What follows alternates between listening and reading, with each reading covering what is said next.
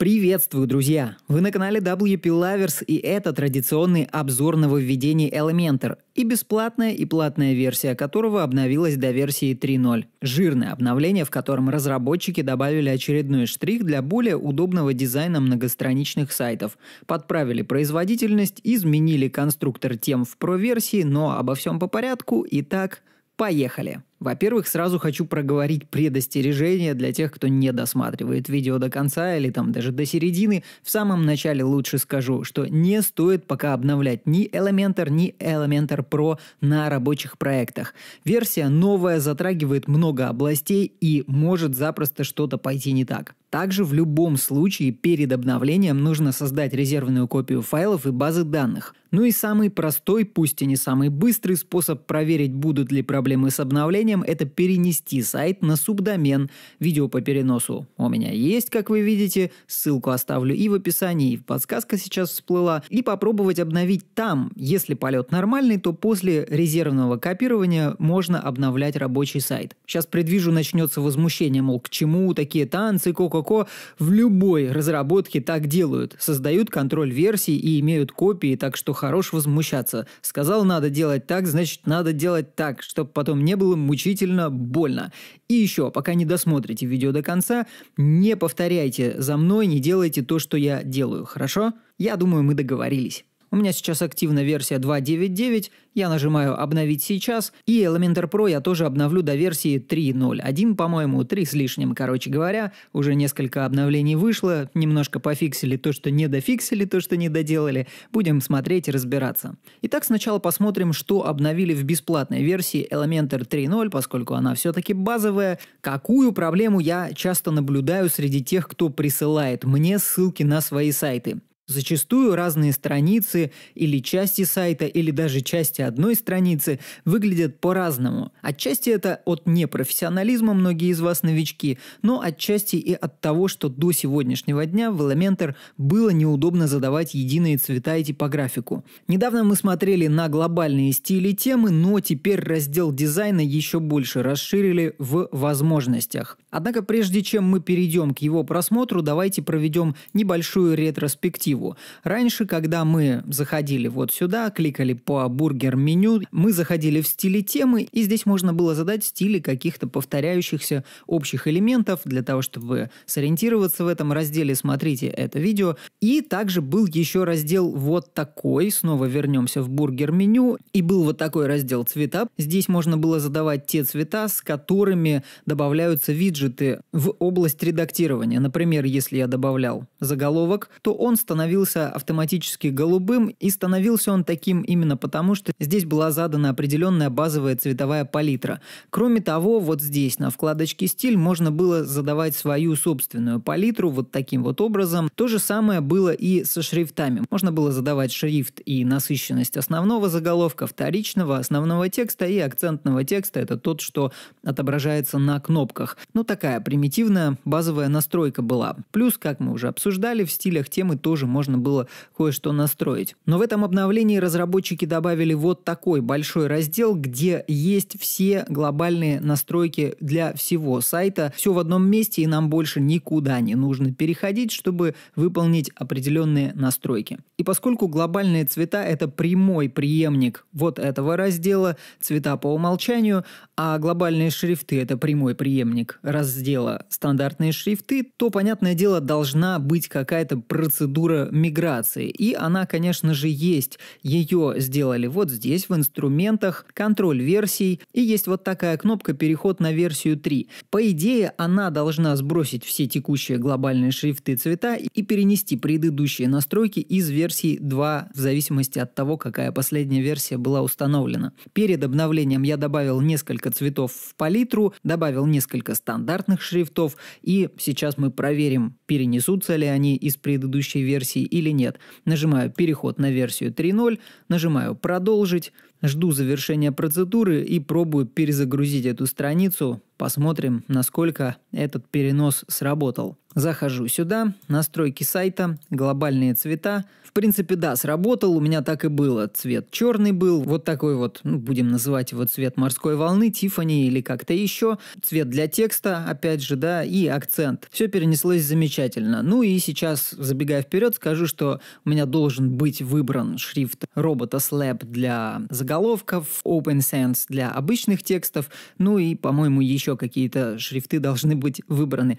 Основной заголовок смотрим робота Slap, все правильно. Вторичный заголовок Open Sans у меня было выбрано. Основной текст должен быть тоже Open Sans. Ну и акцентный текст робота Slap точно так же. Все замечательно, все перенеслось, хоть вы и не видели, что было задано до этого. Ну, поверьте мне на слово, именно это и было задано. И вот эта процедура переноса, ее разработчики добавили как раз-таки в дополнительной версии 3.0.3. В момент выхода этой функции не было, и, конечно же, она очень хорошо помогает переходить с предыдущей версии, если вы, конечно, использовали вот этот раздел с цветами и шрифтами. Но давайте переходить по порядку, для чего нужен этот раздел и вообще что здесь добавилось и обновилось. Теперь можно задать цвет в одном месте, назначить его элементом и при желании изменить в одно действие. Что это означает? Это означает, что сейчас в глобальных цветах вы можете создать любой цвет, подобрали вы палитру в специальном каком-то сервисе, задали этот цвет, ну пускай он будет вот такой вот красный, чтобы точно его не пропустить. Нажимаем «Обновить», и теперь, когда мы выделяем виджет, ну, естественно, чтобы его выделить, надо закрыть этот этот режим, выделяем виджет, переходим в стиль и смотрим цвет текста, да. Появилась вот такая иконка, нажав на которую мы видим весь список наших цветов, которые мы только что с вами наблюдали. Изменить этот список можно вот таким вот образом, ну то есть управлять глобальными цветами, и мы попадем туда, откуда мы только что ушли. Соответственно, если я хочу задать этому заголовку красный цвет, я выбираю вот этот, мой глобальный цвет. Автоматически Elementor присваивает вот такие названия, название, но еще какой интересный момент. Когда мы здесь хотим изменить этот цвет, допустим, нам не понравился, мы подбираем какой-то другой цвет, ну, например, вот такой, хотим добавить его в палитру, нажимаем «Добавить новый глобальный цвет». И обратите внимание, появляется диалоговое окно, мы можем назвать наш глобальный цвет. Пишем здесь, например, цвет фона кнопок и нажимаем «Создать». И этот цвет теперь добавится в набор. Для чего он нам нужен? Ну, допустим, вот есть у нас заголовок, давайте добавим ту же кнопку и зададим ей цвет фона, тот, который мы только что с вами создали. Добавил сюда еще виджет текстовый редактор, чтобы как-то отделить заголовок от кнопки. И вот что мы получаем с вами. Есть заголовок и кнопка вот такого цвета. И теперь, если нам необходимо вдруг поменять цвет, ну передумали мы использовать этот цвет, да, заходим в настройки сайта, в глобальные цвета, и новый глобальный цвет, вот этот, да, мы можем его просто поменять на какой-то другой, и обратите внимание на магию, меняем цвет, и он меняется во всех элементах, где этот глобальный цвет был применен. Здорово, не правда ли? Это очень удобно, цвета теперь можно задавать повторяющимся элементам, и не нужно их менять индивидуально глобально. Они меняются теперь глобально во всех элементах, в которых мы эти цвета применили. Когда мы с вами произвели импорт, вы наверняка заметили, что у нас есть по умолчанию 4 глобальных цвета. Их можно переназвать, как и все остальные цвета тоже. Но удалить 4 базовых цвета мы не можем. Системные цвета не могут быть удалены. Но мы можем их изменить. Да, можно спокойно заменить первый, там, второй, третий, четвертый системный цвет и так далее. Но удалить прям вот эту позицию позицию нельзя, четыре цвета должны в любом случае быть, по аналогии, как мы это с вами наблюдали вот в этой цветовой палитре. Ну и теперь практически то же самое с глобальными шрифтами или с глобальной типографикой. Основной заголовок. Здесь точно так же есть четыре неудаляемых базовых позиции, они тоже переименовываются, все по аналогии с э, цветами. По нажатию на карандашик открывается стандартное всплывающее окошко для настроек типографики, и принцип работы тот же самый. Давайте я сейчас выйду из мастера, добавлю сюда еще одну секцию и вставлю, к примеру, виджеты, ну, иконка с текстом пусть будет. Как вы видите, здесь присутствует и заголовок, и текст, сейчас мы будем их менять. Клик по бургеру, настройка сайта, глобальные шрифты и переходим в заголовок, основной заголовок, задаю Times New Roman и обратите внимание, заголовки поменялись везде. Если мы изменим основной текст, ну, например, на лобстер, никогда так не делайте, но я сделаю сейчас, чтобы это это точно было заметно.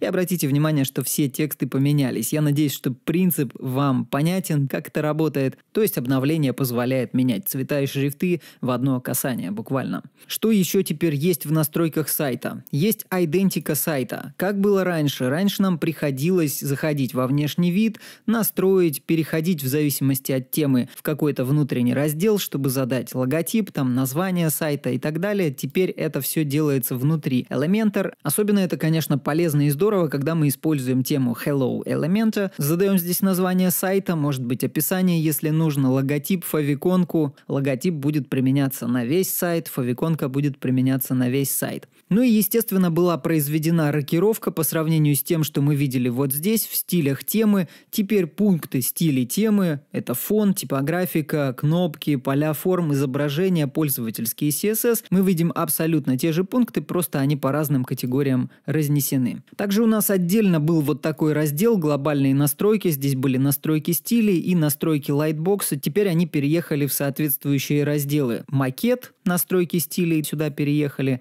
Здесь и брейкпоинты, здесь и основные настройки стилей, которые мы видели и до этого, просто они более расширенные. Ну и настройки лайтбокса, вот они все здесь, все такие же, просто переехали сюда, и это, на мой взгляд, действительно более удобно. Все в одном месте, все доступно, все здорово, не нужно гулять по разным пунктам и переключаться. Была путаница, на самом деле я сам путался, насколько хорошо я сам знаю Elementor, насколько хорошо и много я его использую, но тем не менее все равно блуждал по менюшкам, а здесь все теперь под рукой. А теперь давайте синхронизируем ваши знания, потому что кое-кто наверняка запутался.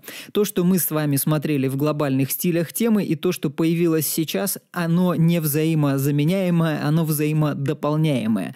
Глобальные цвета и глобальные шрифты, грубо говоря, это шаблонизатор цвета и шаблонизатор типографики. Задали и в один клик меняем. Вот эти же настройки по-прежнему актуальны, и они позволяют задать общий цвет текста на всем сайте глобально. Это то, о чем я рассказывал в этом видео. Оно, как и прежде, актуально, просто настройки переехали в другое место, ну и теперь у цветов появились тоже глобальные цвета. То есть, смотрите, глобальный цвет теперь можно задать, ну, например, всем заголовкам H1. Если мы заголовки H1 специально никак не будем изменять, они будут вот такого цвета до тех пор, пока мы не зайдем и не поменяем поменяем вот этот цвет вот здесь или не удалим его. Кстати говоря, при удалении мы видим вот такое сообщение, что вы собираетесь удалить глобальный цвет. Обратите внимание, если он используется где-то на вашем сайте, то он унаследует цвет по умолчанию. Возьмется какой-то из этих цветов для того, чтобы, ну, не черным же быть заголовку, например, если вы назначили ему вот этот цвет. Вот так это работает. Следующее нововведение – это уменьшение вложенности HTML объектов. Понимаю, что для многих из вас это Филькина грамота, но сейчас постараюсь объяснить. Вот она статья, кстати, в которой рассказывается про то, что было именно изменено. Каждый виджет, каждая секция и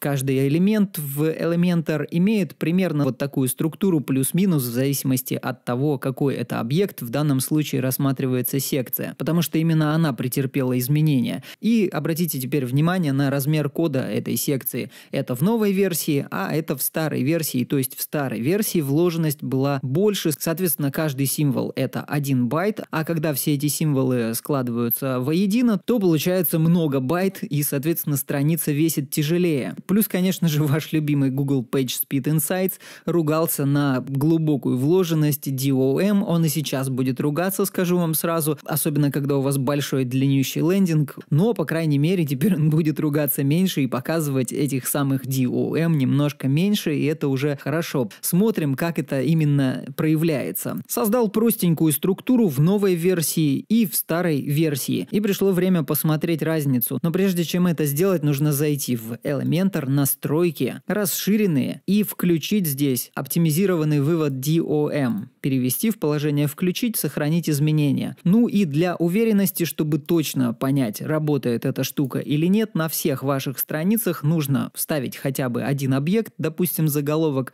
и удалить его, чтобы появилась возможность пересохранить документ. Нажимаем «Обновить», и тогда точно структура документа пересохранится и будет выводиться в новом виде. Перезагружаем страничку, вот она создана у нас секция, копирую элемент, и вставляю код элемента в HTML-редактор. Аналогичным образом поступаю с секцией в старой версии Elementor. Невооруженным глазом видно, что в новой версии код короче 38 строк, а в старой версии 44. Да, не бог весь какая разница, но тем не менее разница есть и она ощутима в объеме. Мы сейчас смотрели с вами только одну секцию, а когда секций много на всем сайте, это складывается в итоге в хорошую сумму байт, который в итоге при оптимизации сайта дает, конечно же, свой прирост. Вот что касается этой оптимизации, включайте, обновляйте ваши страницы, только опять же не забывайте делать резервную копию, ну я думаю, что вы ее уже сделали перед тем даже, как обновиться, поэтому проблем у вас возникнуть не должно. Не возникло ведь? Тогда идем дальше. А дальше пройдемся по разным радостным и не очень мелочам.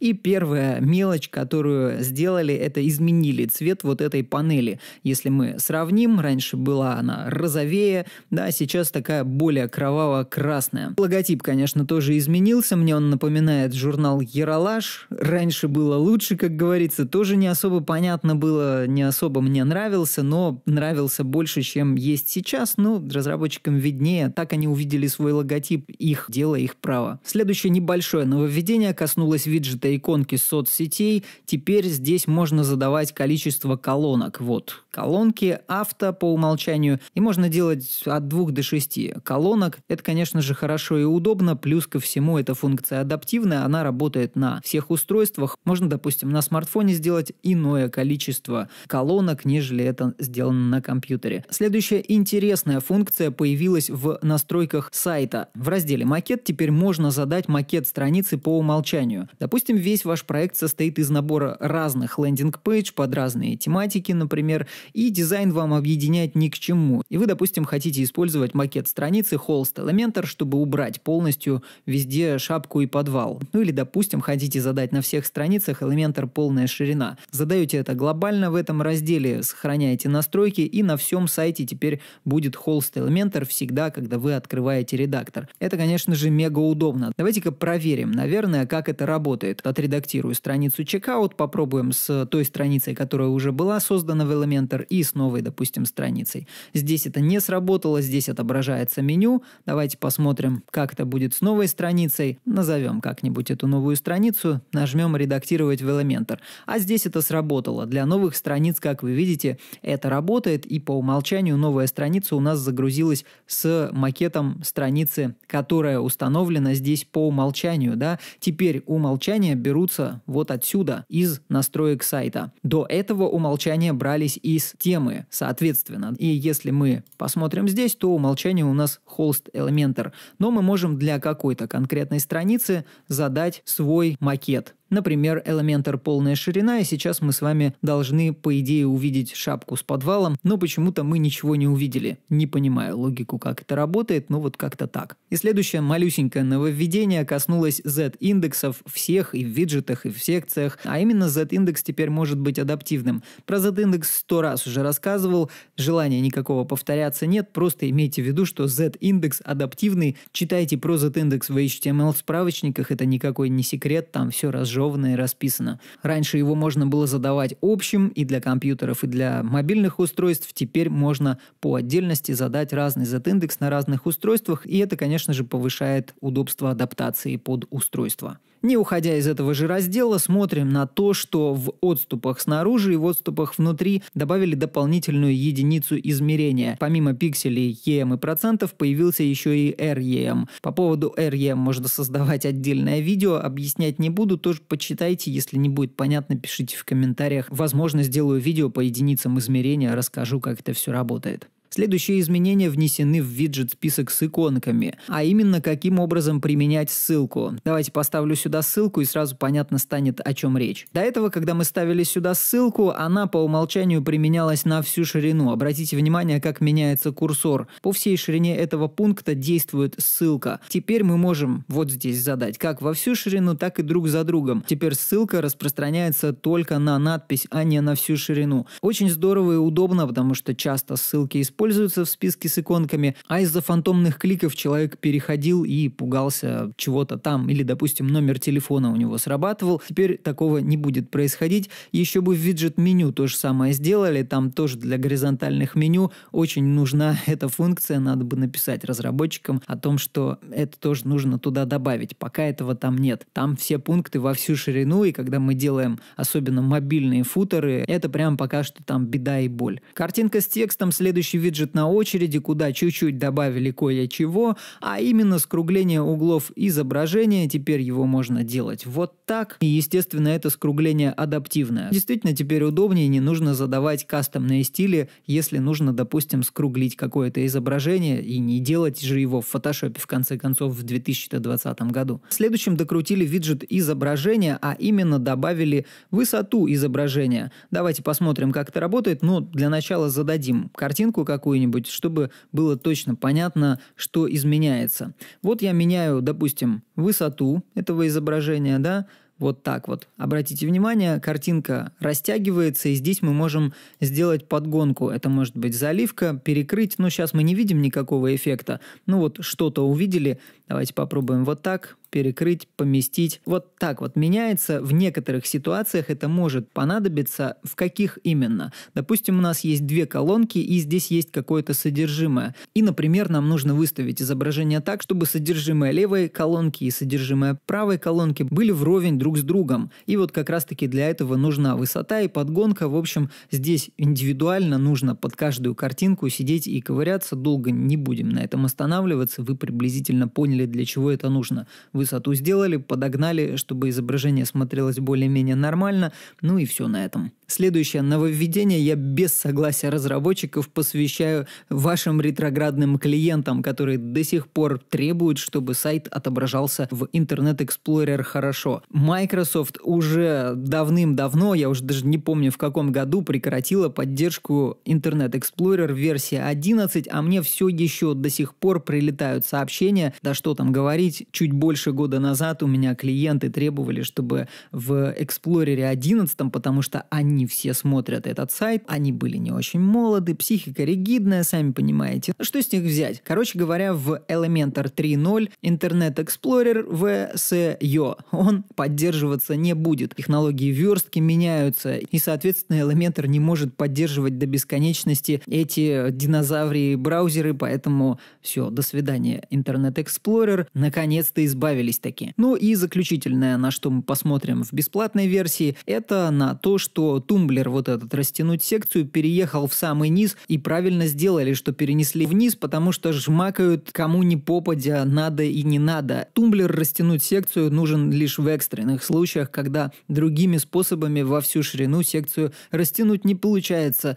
и он растягивает скриптом принудительно, а очень часто я вижу, что на первый экран ставят растянуть секцию, и экран в итоге мерцает, когда страница загружается, это неправильно, не нужно включать этот тумблер по делу и без дела. А тем более по делу включать не нужно. Для того, чтобы по делу у нас есть элементор полная ширина. В нормальных темах эта функция нормально работает. Пользуйтесь ей, пожалуйста. Вот и все по бесплатному Elementor. Отстрелялись, переходим к Elementor Pro. В новой версии разработчики переделали конструктор тем. Переходим в конструктор тем и видим вот такую вот картину. Для того, чтобы понять, что было и как стало, давайте посмотрим, как это было ранее. А ранее это было вот таким вот образом мы видели вот такой вот раздел, где хранились все шаблоны частей темы. Допустим, можно сделать шапку, можно сделать подвал, шаблон одиночной записи, про который у меня есть видео, оставлю ссылку в описании, да и во всплывашке сейчас появилось. Что же сейчас изменилось? Да практически ничего логически, только визуально. Одиночная запись ту же, допустим, можно создать теперь в один клик, да, это быстрее, чем было раньше. Нажимаем «Одиночная запись», и у нас начал создаваться шаблон. Раньше было таким образом. Мы нажимали «Добавить новый», здесь нужно было выбрать,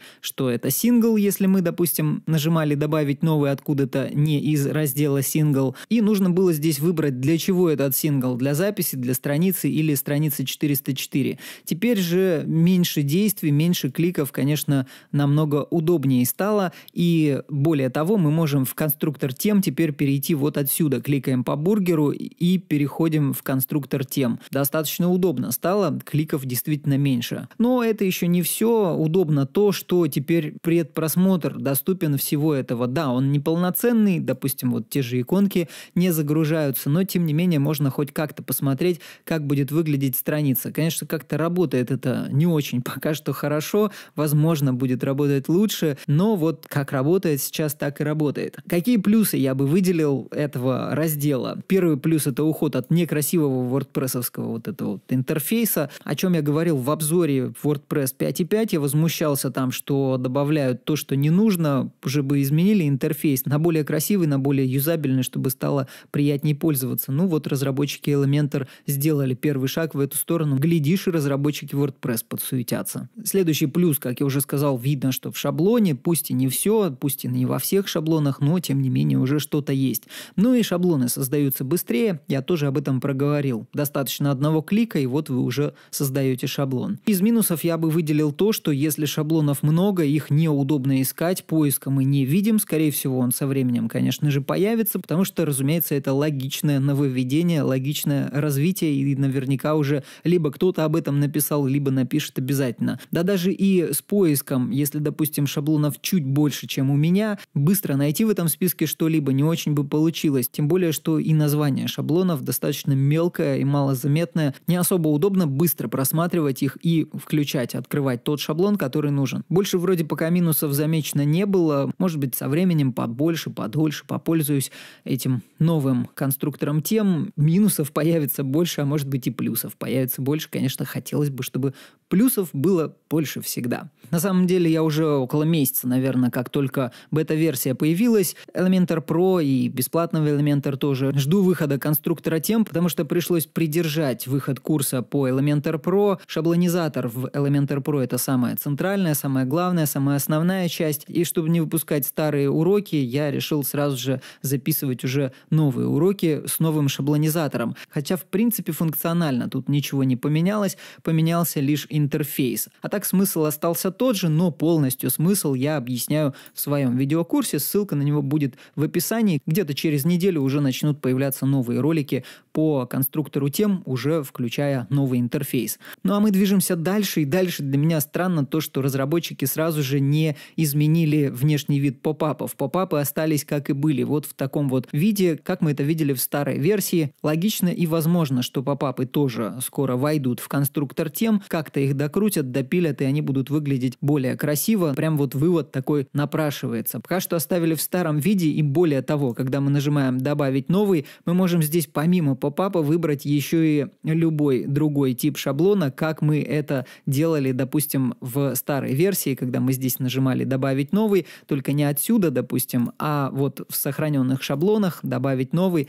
и здесь мы могли выбрать что? Попап, секцию, футер, хедер и так далее. Пока такая история с попапами. Из основных нововведений про версии это все. Остались маленькие нововведения, пробежимся по ним. Например, немаловажное нововведение коснулось оптимизации процесса выдачи CSS динамических элементов. Сложный на самом деле механизм, там, в общем, кое-что перезапрашивалось, пересохранялось. Не буду сейчас объяснять, как это на самом деле работает, но если простыми словами, то это означает, что стили повторяющихся динамических элементов будут отдаваться быстрее. Самый простой пример динамических элементов я рассказывал в видео про то, как вывести произвольные поля в шаблонах Elementor на примере Advanced Custom Fields. То есть, если быстро и коротко сказать, страницы, сделанные с помощью шаблонов, будут загружаться быстрее. Просто держите это в голове, и для многих этого будет достаточно. Есть у нас такой виджет в Elementor Pro, называется галерея, и галерея может выглядеть вот таким образом сетка, а может выглядеть кирпичной кладкой. В момент релиза в какой-то там версии этой галереи кирпичная кладка работала не очень. Разработчики утверждают, что они поправили механизм вывода изображений в виде кирпичной кладки. Поверю им на слово, будем надеяться, что это действительно так. Следующее обновление, от которого я буду бомбиться, это типа добавили контекстные якоря в виджет оглавления. Что это означает? Если я навожу на вот этот пункт в оглавлении, обратите внимание, левый нижний угол, как выглядит ссылка. Через DS добавляется Elementor TOC Header Anchor 1, здесь Anchor 0, соответственно, 2, 3 и так далее. Что с этим не так? А не так с этим то, что анкоры считывают поисковики, да, они не особо влияют там на поиск, но тем не менее в поисковую выдачу они все равно попадают и когда попадает вот такой анкор, это, конечно же, некрасиво.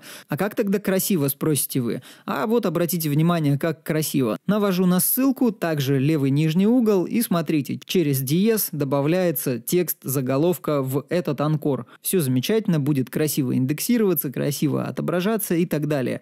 Но с Elementor абсолютно не так, хотя разработчики утверждают, что автоматизацию сделали. А я сейчас покажу, какой они сделали автоматизацию. Делаю редактировать запись. И вот какая нас ждет автоматизация в 2020 году. Для того, чтобы была какая-то автоматизация, нам нужно выделить этот заголовок, перейти в дополнительно. В версии WordPress 5.5 у нас теперь есть возможность задавать HTML-якорь. Зададим какой-нибудь вот такой простой рандомный якорь на латинице, обновим и перезагрузим нашу страницу. По идее, на заголовке Seed Quiz должен появиться вот этот контекст якоря. Да, он появился, но обратите внимание, что мне пришлось руками зайти и изменить его ID. Это ведь крайне неудобно. Да, я написал там разработчикам, они написали, что мы автоматизировали. Я им написал, что они ничего не автоматизировали, и это действительно так. Автоматизировал плагин TOC, там какой-то там для WordPress, который я использую на своем сайте. И когда разработчики сделали релиз оглавления, я об этом и говорил, что я не буду использовать этот виджет, потому что он сырой и не юзабельный. Хватит этого виджета, слишком много чести, движемся дальше. А дальше виджет вход и обновилась вот такая штука. Перенаправление после входа добавили просто динамику к этому полю. Раньше поле было статичное, теперь динамическое. Ну, например, можно вернуть человека на ту же запись, на которой он нажал вход. Допустим, форма входа у вас была в сайт-баре, вы добавили здесь URL записи, человек введет логин, пароль, нажмет войти, его перезагрузит и оставит на этой же странице. Достаточно удобная фишечка, особенно для тех, кто использует эту форму входа. Я ее, к слову, ни разу не использовал, ну, как-то вот не приходилось. Поэтому не могу сказать, насколько это удобно, но я думаю, что будет удобно, конечно же. Далее виджет Flipbox для перекрытия фона. Здесь добавили вот какую вещь. Ну, для того, чтобы задать перекрытие фона, нужно задать основной фон для начала, правильно? Правильно. Задали основной фон, появилось перекрытие. Чтобы задать перекрытие, нужно здесь что-то поделать, и только после этого появляются фильтры CSS. Соответственно, здесь можно что-то сделать с фильтрами CSS и с режимами наложения. Вот таким вот образом делать по аналогии, как мы это делаем в Photoshop. Вот такая штука у нас произошла с флипбоксом. Движемся дальше. А дальше виджет меню навигации. И разработчики теперь позволили нам изменять размер бургер меню на разных устройствах. Давайте сделаем прям сразу бургер меню, выпадающее, стиль, переключатель, размер. И вот он размер может быть на разных устройствах разный. На планшет планшетах, допустим, поменьше, а на смартфонах еще меньше. Таким образом, мы видим вот что. Большой размер, поменьше и совсем маленький. Тоже хорошо, по-моему, даже в каком-то проекте приходилось через CSS это дело допиливать. И то, что теперь есть такая настройка, конечно же, удобно. Немного больше обновлений досталось виджету «Призыв к действию». Здесь добавили адаптивное выравнивание текста. Раньше этого не было, стыдно сказать. Далее появилась динамика в ленточке. Теперь можно в ленточку, вот в эту, вот напоминаю, что такое ленточка, выводить какие-то динамические данные, ну мало ли от страницы к странице нужно, допустим, из произвольных полей что-то сюда выводить или что-то еще. Ну и не бог весть какое нововведение, но тем не менее. Раньше здесь было написано, что это заголовок и описание, а сейчас ярлыки разделили заголовок для поля заголовок, а описание для поля описания. Ну так более юзабельно, более понятно. А заключительное обновление мы посмотрим в виджете записи. Добавили вот какую вещь, а именно именно дата изменения записи. Обратите внимание, что появилась вторая дата, дата создания у нас здесь отображается и дата изменения этой записи. Для некоторых ситуаций очень даже хорошо, а вообще хорошо оставить только дату изменения, например. И здорово, если вы часто меняете запись, то пользователи, да и поисковики тоже видят, что дата записи изменяется, что запись каким-то образом развивается. Основные нововведения посмотрели, осталось сделать выводы. Обновление, конечно же, большое и интересное, особенно порадовал новый глобальный редактор стилей. Правда, теперь придется перезаписать кучу уроков моего видеокурса по бесплатному Elementor, но это ладно, глобальные цвета и шрифты того стоят. Обновление Elementor Pro скорее косметическое, чем функциональное, но немного удобства в работу оно тоже привносит. Есть и огрехи, но как без них, в любом ПО они есть. У меня вот на macOS после последнего обновления пропало поле ввода пароля. Пока не потыкаешь в это место, где оно должно быть курсором, не появляется, так что косячат все, и мы с вами тоже не исключение. Я же желаю вам успешного опыта использования нового Elementor 3.0 и хорошего дня.